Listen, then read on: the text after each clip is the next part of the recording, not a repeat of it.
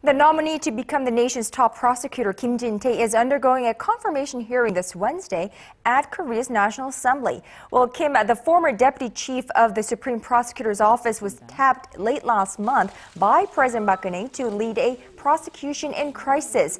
Now, the prosecutor general nominee is facing the task of reforming the prosecution and mitigating internal strife over the spy agency's alleged meddling in last year's presidential election.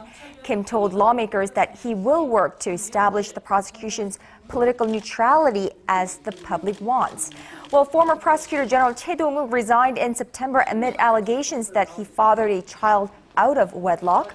Opposition lawmakers alleged that the presidential office pulled strings to push Chae out of office because it was displeased with his handling of the investigation into the intelligence agency scandal.